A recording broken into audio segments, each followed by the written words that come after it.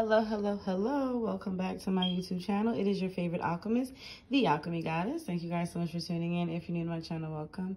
If you're returning, thank you so much for coming back. You are greatly appreciated. This is your daily divine feminine healing message for the divine feminine within his or her twin flame journey. As always, I have the twin flame journey oracle, twin flame journey messages, and the divine feminine healing oracle messages by Mystic Moon Oracles.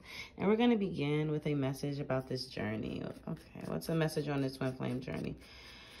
Who's the masculine want to talk about today? Forgiveness. Oh, somebody wants forgiveness. Let's get another message here because they want forgiveness, right? Hmm. They're trying to talk to you, probably in your dreams if I'm getting the receive message, I'm kind of feeling like they're trying to communicate with you telepathically. This is not a 3D dimensional energy, okay? So your person wants forgiveness.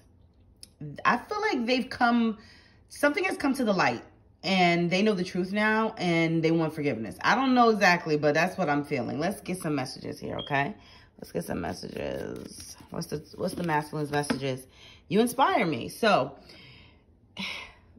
you inspire them. Okay, let's get another message. My mind and heart always comes back to you. I told you. Something came to light with someone they are dealing with. A mask fell off. A truth came out, okay? And now they want forgiveness. No matter what, they come back to you. My mind and heart always comes back to you. You inspire me. See, I feel like no one inspires them the way you do. No one.